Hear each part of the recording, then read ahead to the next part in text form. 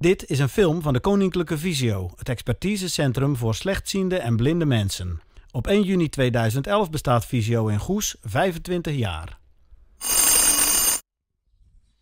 In deze film bezoeken we verschillende slechtziende mensen. En we beginnen bij mevrouw Mol. Mevrouw Mol, wat bent u aan het doen? Ik ben net muffins aan het bakken. Lotte van Kerkhoven. Vanaf 4 centimeter kan ze de noten voor de dwarsfluit net aanlezen. En ze fietst nog. We beginnen bij de 19-jarige Saskia Dalebout. Ze is blind. Hoi Saskia. Hoi. Nee, dat is makkelijk zo'n lift. Ja, zeker. Hoe, hoe lang ben jij al blind?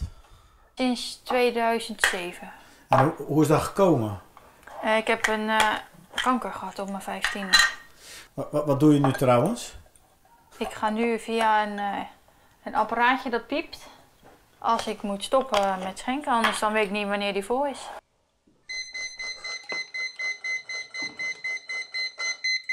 Alsjeblieft. Esther Krijger van Visio en Goes. Visio kan met een eh, aantal hulpmiddelen het leven veraangenamen van een heleboel visueel beperkte mensen. We hebben ook gesproken tijd en datum. Hoe laat is het nu? 18 minuten voor 3 in de namiddag. De Daisy-speler. Dat is een speler voor het gesproken boek. Daar begrijp ik niets van.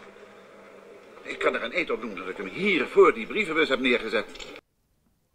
Saskia laat ons met braille onderschrift de vakantiefoto's zien. Een zonnebloem. De wereld is heel visueel ingesteld. Ja, eigenlijk het moeilijkste was toch wel bij mij de acceptatie. En dat het gewoon van de een op de andere dag was. Ja. En in een rolstoel en blind. Oh, ik heb een sms'je. Ik zie niks. Nee, ik, de iPhone kan je je scherm uitdoen en ik heb voice-over aan, dus heb jij eigenlijk geen beeld. Maar, maar laat het sms'je dan nu eens horen. Mama, berichten, terugknop. Uw bericht, uitlaten geen goed. 17 mei 2000, uw bericht. Hey als je, bericht van contactpersoon. Hoi Saskia, ik kom een uur later roken. Mevrouw Mol is nog steeds bezig met de muffins. Zij ziet de wereld door een klein kokertje. Ik heb bij Visio een eh, kooktraining gevolgd en sindsdien bak ik weer. En daarvoor deed ik het dus nooit. Het droge bestanddeel heb ik al klaar, dus hier nu heb ik dit nog. En dan moet ik dus nu de karnemelk nog doordoen. Doe het eens. Ja? De karnemelk ga je er dus nu door doen. Ja? Ja? Dus dan moet ik eventjes afmeten. Daar Maar hoe dus weet u nu dat dit karnemelk is? Ja, dat staat op een vaste plek in de, in de koelkast. Ja, maar volgens mij, en nu wat verkeerds hoor. Oh, ik heb de verkeerde kleur. Ik heb yoghurt te pakken. Dus ik moet eventjes... Ja, Stel nu dat iemand de zout en de suiker door elkaar zet. Dat kan je ook proeven? U proeft altijd iets voordat u... Nou, ik proef... Nee, maar je kan ook aan de vorm van het eh, potje wat of je dus... Dus nooit eigenlijk zo weinig mogelijk dezelfde vormen van potjes en voorraad, bussen en dergelijke gebruiken. Nina van Haperen van Visio. Eh, nou, wat we regelmatig tegenkomen als mensen blind of slechtziend worden, is ehm, dat ze niet meer de straat op durven of dat ze maar hele kleine stukjes eh, de straat op durven te gaan. Eh, en wat wij dan met onze trainingen doen, is mensen met of zonder hulpmiddel leren dat toch weer opnieuw te doen, zodat ze een stukje zelfstandigheid weer terugkrijgen. Dat als mensen met een koker bijvoorbeeld, hè, alsof je door een toiletrolletje kijkt, dan zie je maar een heel klein gedeelte van de weg. Als je dan leert om van links naar rechts te kijken, en dat klinkt gemakkelijker dan het eigenlijk is, ehm, hebben, zijn mensen weer in staat om het overzicht over de gehele weg, de gehele verkeerssituatie te hebben, waardoor ze weer veilig eh, de straat op kunnen. Mevrouw Mol programmeert nog op de computer. Eventjes openen in mijn HTLM-kit. Dan kan ik het goed laten zien. Kijk, dit schrijf ik dan allemaal. En wat wordt dat? En dit wordt, maar dan moet ik even de muis gebruiken. Haar man, meneer Mol, weet precies hoe slecht zijn vrouw ziet. Zeker, want ik ben wel eens op visio geweest. En daar hebben ze mijn bril opgezet en eh, was dus, hadden ze precies uitgetekend wat ook mijn vrouw dus ziet. Nou, en daar schrok ik heel erg van. Ik zou zo, eh, ja, ik kan mijn eigen zo niet indenken dat hij zo eh, alles nog kan zoals zij doet. Vivian Drijver werkt op het lichtlab van Visio. En wat heel erg belangrijk is, is de hoeveelheid licht. Want als je wat slechter ziet, dan is het belangrijk om de omgeving zo optimaal mogelijk te maken. Zodat je ja, optimaal gebruik kunt maken van je restvisus, van de mogelijkheden die je nog hebt met je ogen. 1000. En dan is er nog één stap. Dat is 2000 licht. Lux, dat is echt een heleboel licht. Zie je het verschil in de omgeving? Ja. Ja, hè? Ja.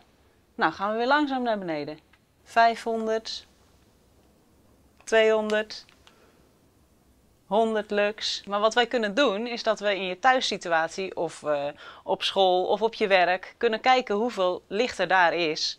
En uh, een verbeterplan kunnen schrijven. Dus adviezen kunnen geven hoe je de situatie kunt optimaliseren. Lotte komt aangefietst, grote zonnebril op en aan de bagagedrager de letters SZ. Uh, ik heb albinisme en ja, dat is een uh, afdoening aan mijn ogen, waardoor ik dus gewoon minder zie. Hoe gevaarlijk is het dan om te fietsen? Nou, eigenlijk heel gevaarlijk. Heel veel mensen verbieden het me daarom ook. Ja, vooral alleen, maar ik doe het gewoon eigenlijk. Ze loopt naar de tuin en leest met de neus op de letters in haar boek. Gewoon, ik vind uh, zelf lezen vind ik veel leuker. Eigenlijk. Ja, maar het is zo vermoeiend. Je, je zit er met je neus bovenop. Ja. Maar... En toch doe je het liever, hè? Toch, ja. Ik, ben, ik doe gewoon eigenlijk dingen net als andere kinderen doen. Lees eens wat. Grootvader voorbij een flakkerend vlammetje. Zijn kleinzoon Ronnie spitst zijn oren. Hij hoort, in de, hoort hij in de verte een auto. Hij gaat bij het raam staan. Het is donker buiten. De lantaarnpalen gaan al jaren niet meer aan. Stel dat je een blind of slechtziend kindje krijgt. Gonnie Hordijk van Visio en Goes. Vaak zijn ouders toch even onder het hand van hoe ga ik nou om met dit kind? Uh, uh, hoe leg ik contact met mijn kind als die me niet kan zien? Hoe ziet mijn kind dat ik naar hem lach? Dat zijn de allereerste vragen waar ouders mee zitten. Om de uh, gezichtsexpressies te zien, voor blinde kinderen is dat niet mogelijk. Voor slechtziende kinderen is dat ook vaak moeilijk. Van wat zie je nou in een gezicht wanneer iemand boos, verdrietig, bang enzovoort is? Het zit niet alleen aan zien vast. Hè? De manier waarop je contact met andere mensen maakt. Het is wel een belangrijk facet, maar niet het enige. Terug naar de 12-jarige Lotte. Hebben jullie hier bijvoorbeeld ook in de tuin een uh, trampoline? Ja. Da daar kan jij niet op. Tuurlijk wel. Ben je nou gek? Dat is toch veel te gevaarlijk? Ik ben de enige die daarop zit, zo wat.